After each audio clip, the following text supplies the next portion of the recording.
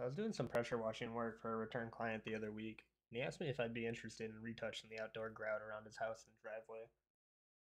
Now, it's not a service that I normally provide, but given that he's been with me for a couple of years, I told him I'd give it a shot.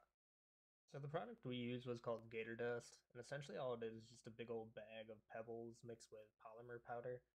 And once you get this stuff wet and leave it to cure for 24 hours, meaning don't let it get rained on or anything after the initial curing starts, it'll basically just rubberize and hold itself together and it just gives a nice finished look to your outdoor tiling as opposed to like laying loose rock between that's going to get kicked and knocked all over the place. This stuff will actually sit where it needs to stay.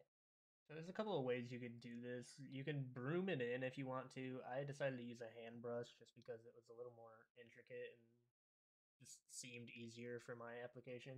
One thing to note is just make sure your surface isn't wet before you start working with this stuff or else it's going to seal to the top before you actually want it to. They recommend that you use a rubber mallet to tap the side of the rocks to just make sure everything settles into place, which since I use a small brush, that wasn't really necessary for me.